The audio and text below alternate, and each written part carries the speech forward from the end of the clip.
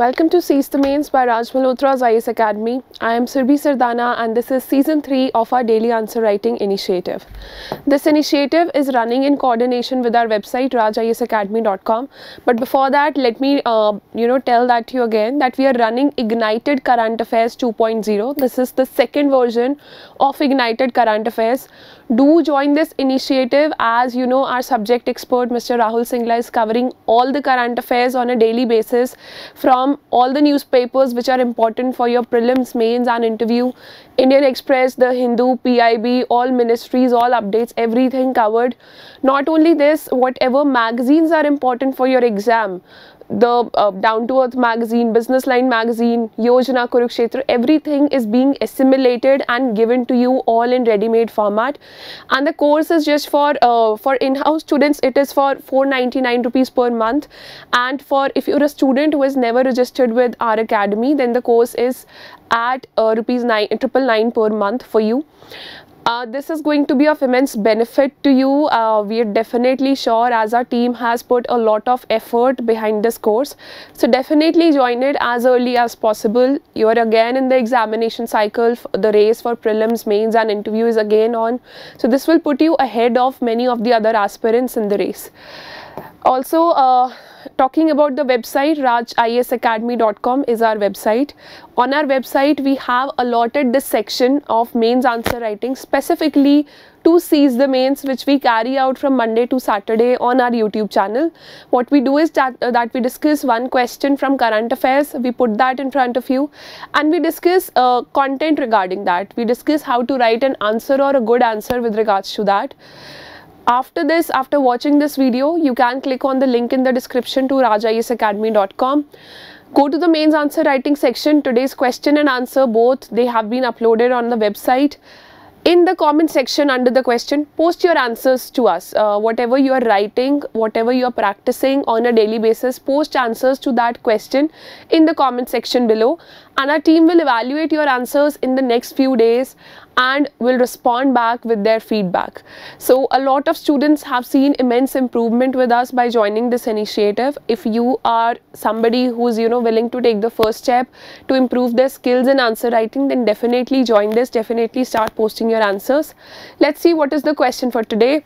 The topic would remain Wassenaar arrangement, Wassenaar agreement, Wassenaar arrangement. See, the question is very simple. Earlier, India was not even a member of this arrangement or this agreement uh, till 2017. Now, we have assumed the chairship or chairmanship of Wassenaar arrangement starting from January 1, 2023. So what is the significance of uh, this arrangement. Also what you can expect in your mains is the importance or the features of this particular arrangement. So we'll be broadly covering all the aspects but the question is put some light on the significance of India's assuming chairmanship of Wassenaar arrangement. Answer in 150 words. So what you can do is uh, what specific significance does it hold for India if uh, you become a member of Wassenaar arrangement? One of the very, very popular newspapers covered the significance part as a specific article separately. We have given uh, the link to that newspaper in the model answer on our website itself. So definitely check out that article also. Coming to this question, let's read it again. Put some light on the significance of India's assuming chairmanship of Wassenaar arrangement. Answer in 150 fifty words बहुत ही छोटा सा answer है and the significance it is something that we are addressing with respect to India so first of all since you know this is something again a very fancy term बहुत ज़्यादा you know news में रहने वाला arrangement या agreement नहीं है। What we'll do is again we'll write two three lines of our introduction two three lines introduction में हम वास्टिनार अरेंजमेंट के बारे में बताएँगे।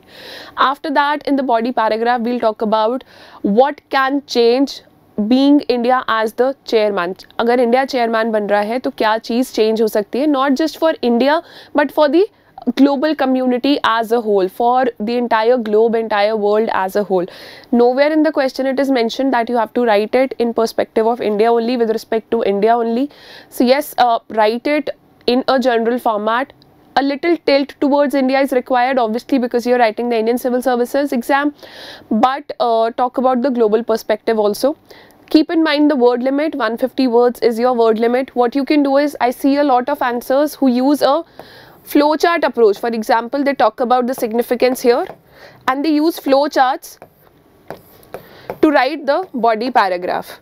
And until unless your you know till the time your flowcharts are very clear if it is very legible for the examiner it is a treat to read answers which have been written in such a way. But yes do not flow, uh, do not uh, break the flow of the language. Whatever approach you are using make sure that you uh, you know use the space of your answer sheet very properly the uh, answer should not look like that you're running short of space or you're running short of time presentation is very important when it comes to getting more marks in mains. So let's move on. Uh, let's see in the introduction what are we writing? First of all talk about what Wassenaar arrangement is about what does it do and how does it do that. This will frame three lines and uh, after that we'll talk about the chairmanship of India and its significance. So Wassenaar arrangement is a multilateral export control regime. See there are at least four multilateral export control regimes, your uh, you know MTCR um, Missile Technology Control Regime, Nuclear Non-Suppliers Group, NSG, all of them are part of it and Wassenaar Arrangement, Australia Arrangement.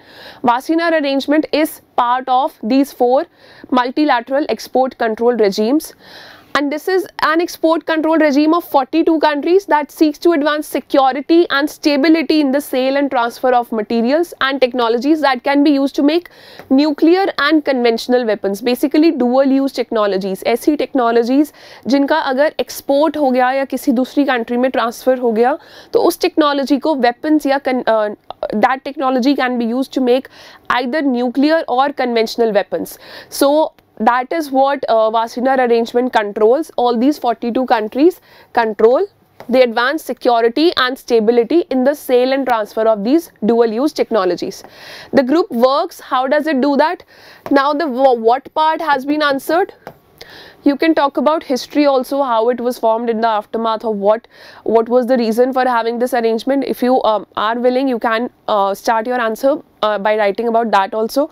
Here we are starting by talking about its significance or what does it uh, group uh, what does the group do so the group works by regularly exchanging information in respect of technology both conventional and nuclear capable that is sold to or denied to countries outside the grouping so that is uh, you know that is a sort of information exchange that happens between the entire amongst the entire group members.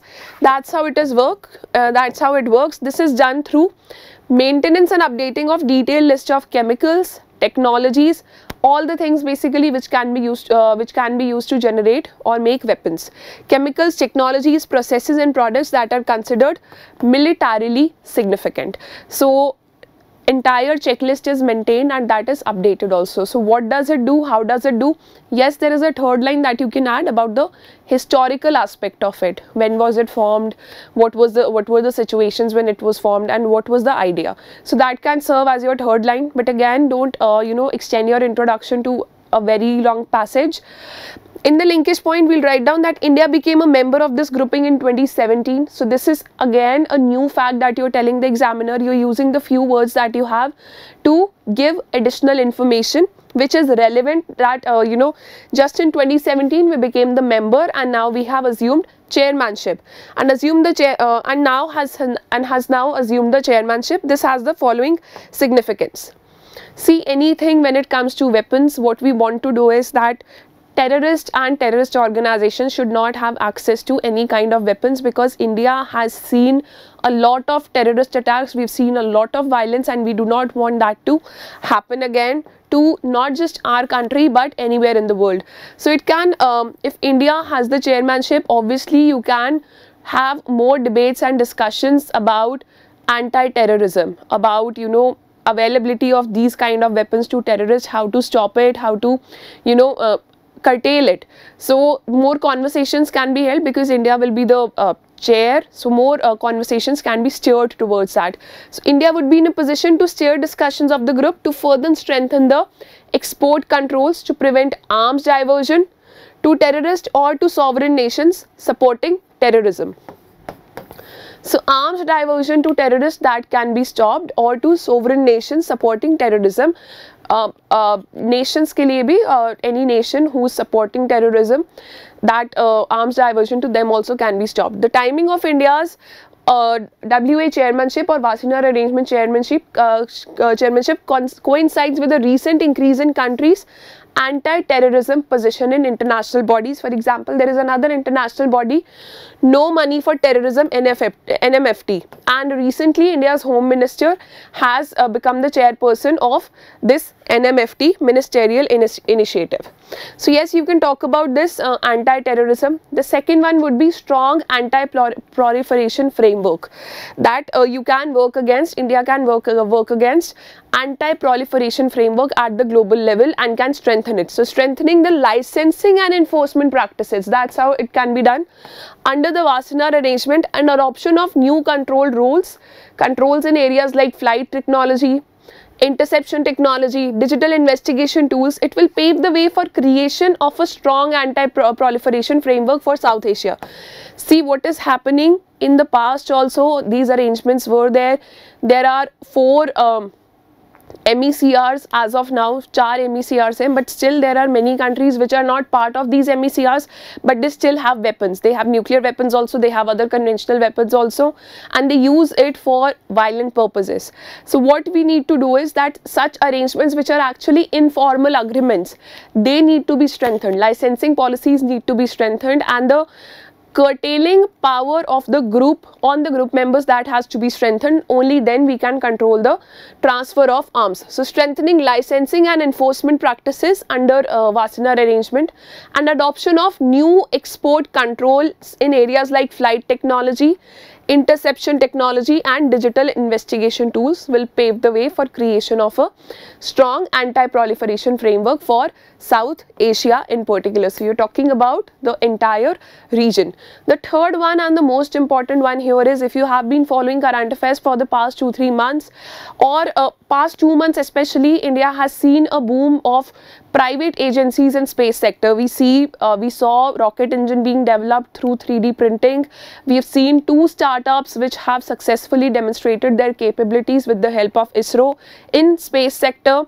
And in the defense technologies also india is on the way on the path of developing its own hypersonic missile. Also we are developing the latest uh, uh, latest technologies in agni that can be developed. We have taken uh, we've taken from russia uh, the anti-ballistic system from Russia has been taken S-400. So now what you can do is since India had a lot of problems importing or you know getting access to key technologies like the cryogenic technology let's say. So these technologies these are important. Having access to the outer space that is important. Having having a good space program that is important. Or even if not a space program having access to rocket launchers that is important. So now since india will become the chairman india can pave the way for democratization of space and defense technologies. The route for accessing these technologies for those countries who do not have it already that can become easier.